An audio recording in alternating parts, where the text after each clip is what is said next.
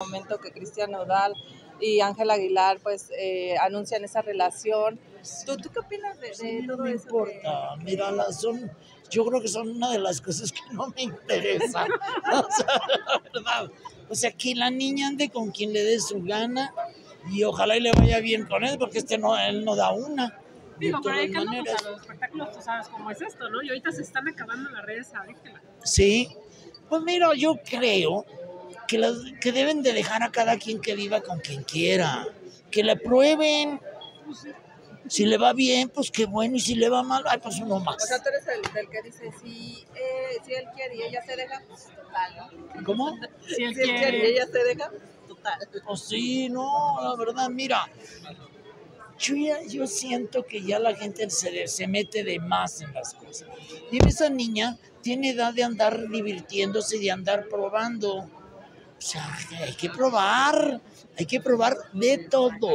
¿Cómo Oye, pero, crees que esa- reaccione Pepe? pero, pero justo es a ella la que critican y no a él, o sea, pues de qué se ¿De qué? trata. Justo es a ella la que la critican, no a él.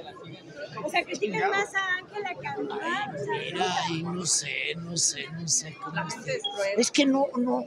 Yo, yo al Nodal lo vi una vez en Aguascalientes, en la feria me lo encontré y fue la única vez que le saludé y ya. Y, y a la niña no la conozco, ¿tú crees? Diciendo que yo soy amigo de Pepe desde hace muchos años. Pero ¿cómo ¿dónde- cómo va a va a Precisamente. reaccionar? Tú que lo conoces, ¿cómo va a Precisamente que lo conozco, ¿cómo crees que reaccione? Yo creo que aceptó. Mejor Y por si eso no, se pues- fue de vacaciones, ¿no? Pepillo? Porque ahora anda en y las redes sociales, regresa, Pepe, ya está en el Sí.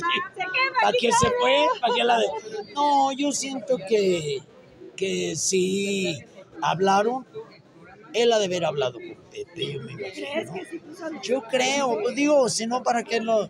¿Tú crees? Como, si, como es. Pepe, Sí, ¿verdad? No lo deja así como que así. yo hubiera dicho. Oye,